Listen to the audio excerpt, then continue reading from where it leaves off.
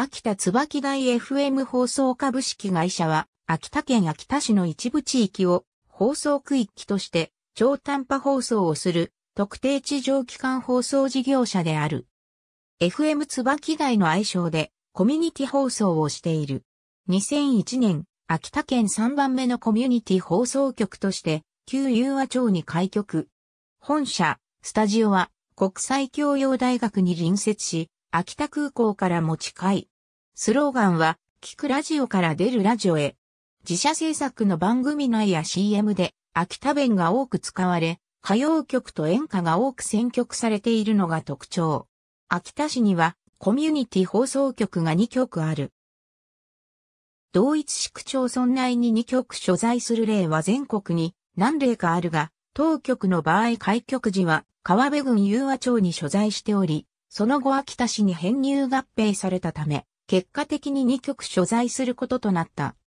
本社や旧社屋開局当初に本社屋として用いていた建物は秋田市の所有であったため、隣の国際教養大の両社拡大により移転を余儀なくされた。そのため、2006年8月に近隣の秋田市有は休憩サービス施設内に移転した。以前の本社屋は、ログハウスで、椿茶屋が併設されていた。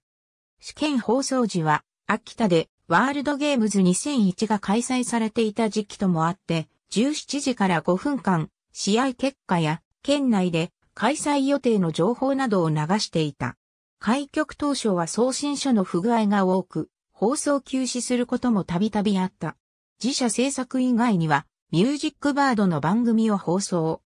同じ秋田市内にある秋田コミュニティ放送同様コミュニティ放送向けの番組を放送しているが、FM 椿台では、歌謡演歌チャンネルの番組も多く編成している。祝日やお盆期間、年末年始などは、FM 椿台からの生放送番組が休止になる。毎日朝6時の時報直前と深夜0時の時報直後に曲名、コールサイン、周波数が告知される。